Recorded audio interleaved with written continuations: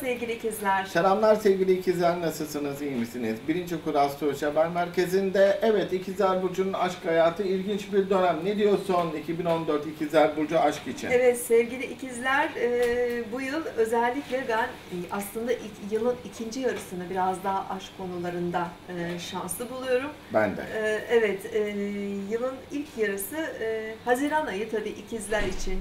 E, bunun yanı sıra e, Aralık ayı, yıl sonu yine güzel dönemler.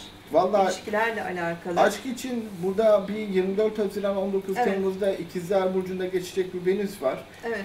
Venüs'ün ikizler burcunda olması, hı. ikizler burcunu fiziksel olarak daha çekici kıracak, daha fiziksel olarak güzelleşecekler, daha kendilerini iyi hissedecekler.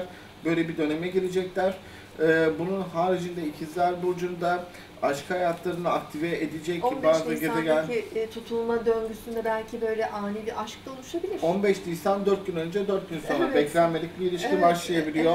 evet. Şey, artı o 15 Nisan'ın tam karşılığı dediğimiz işte daha ziyade Ekim ayı var yine. Ekim ayının 7'si ile 13'ü Evet. arasında 8 Ekim Koç burcu ay tutulmasında beklenmedik bir e, iş arkadaşından aşk ya Hı. hiç beklenmedik bir sürpriz seyahat aşkı 18 Ağustos. Hı hı. Neden olmasın?